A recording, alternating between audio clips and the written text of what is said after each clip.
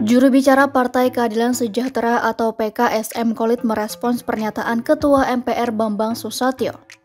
Ia menyampaikan kritik terkait pernyataan Bamsud yang meminta agar penyelenggaraan pemilu 2024 dipikirkan ulang. Menurut Kolit, pernyataan Bamsud tersebut kurang bijak.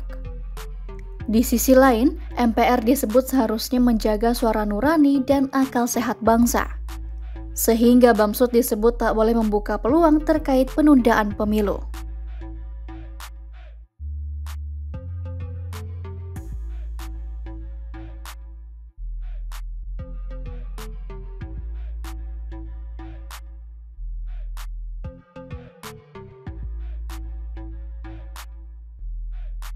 Sebelumnya, Ketua MPR Bambang Susatyo menyatakan bahwa penyelenggaraan pemilu 2024 perlu dipikirkan ulang sebab menurut dia ada sejumlah potensi yang perlu diwaspadai oleh negara.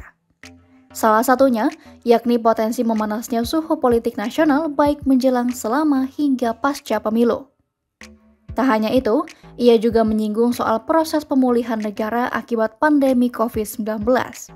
Bamsud khawatir akan adanya ancaman terhadap Indonesia terkait situasi global di masa yang akan datang.